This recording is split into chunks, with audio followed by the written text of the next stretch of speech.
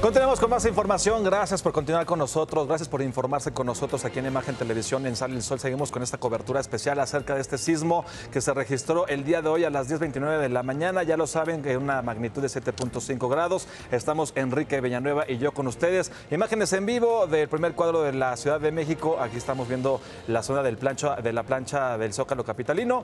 Ahí estamos viendo nuestros reporteros viales cómo están recorriendo las calles. Ya estamos viendo que la gente, la mayoría ya regresó a sus actividades normales. Hay muy poca gente en las calles. Hay que recordar que este primer cuadro de la Ciudad de México está cerrado precisamente por esta pandemia de COVID-19. ¿Qué les parece ahora si nos vamos con mi compañero Arturo Páramo? Nos tiene información importante de lo que está ocurriendo a raíz de este sismo. Mi querido Arturo, vamos contigo. Cuéntanos, por favor, qué está pasando. ¿Qué tal, Iván? ¿Cómo estás? Pues el presidente López Obrador ya emitió un tercer comunicado eh, vía redes sociales eso lo hizo a través de eh, Twitter y dio un poco más de detalles acerca del sismo eh, que ocurrió esta mañana. Eh, ya confirma la muerte de esta persona en Huatulco, pero dice, que no hay daños mayores en la costa de Oaxaca. En la ciudad de Oaxaca también reporta que hay algunos daños, pero la mayor parte del país pues soportó bien este movimiento telúrico y eh, pues habla eh, en este momento, en esta, en este tercer mensaje con David León, el coordinador de Protección Civil, y pues es quien le da al presidente de la República estos eh, detalles acerca de los daños ocurridos por el, sismo. Y pues nada más recordarles, la alerta sísmica funcionó bien hoy, es una red de 97 sensores que hay en la costa del Pacífico. Es la que alerta a la Ciudad de México de un inminente terremoto de grandes proporciones.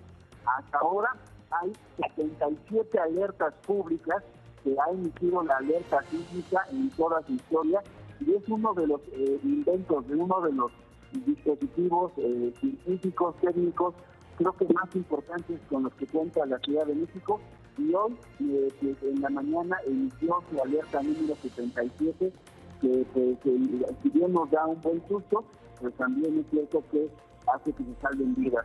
Y, por parte de Protección Civil Nacional también se hizo la alerta de un posible crecimiento del nivel del mar de hasta 113 centímetros de nivel de agua de marea en la zona del epicentro. Esto es enfrente de las costas de Huatulco, donde hasta el momento de lo que ustedes comentaban hace unos instantes, había algunas imágenes de cómo el mar se había retirado y comenzaba a regresar, pero por lo que dice Protección Civil, no iba a ser de más de 113 centímetros este retorno del agua hacia la costa. Exactamente, mi querido Arturo, pues estaremos muy al pendiente de toda la información. Gracias por compartirnos estas noticias. Seguimos pendientes, Gracias, mi querido Arturo. Lo que decía, la alerta sísmica le ayudó mucho a los mexicanos, a los capitalinos en este momento porque nos dio casi dos minutos de ventaja para poder hacer eh, la transición hacia las calles. Esto tiene que ver mucho por el epicentro. Debido a que fue en Huatulco, tuvimos dos minutos para poder tomar medidas respecto a eh, una vez que sonó la alarma. Hay veces que la alarma suena cuando está temblando o cuando ya tembló. Esto fue la razón. Y si usted nos está sintonizando en este momento y no se ha podido comunicar con familiares. Déjeme decirle que Grupo Imagen ya hizo un recorrido. Le podemos decir que tanto zonas de Xochimilco como Tlalpan también recorrimos parte de Insurgentes, tomamos Paseo de la Reforma, dimos una vuelta por ahí por Mariano Escobedo en Polanco, nos fuimos hacia Juárez, después tomamos la zona del Zócalo, viajamos hacia la Condesa y a la Roma y salvo algunas paredes que ya estaban eh, reblandecidas por el temblor de 2017, no hay daños de consideración, salvo hay unos cables que se cayeron que por fortuna Protección Civil ya está tomando en cuenta. La la jefa de gobierno Claudia Sheinbaum a través del grupo Cóndores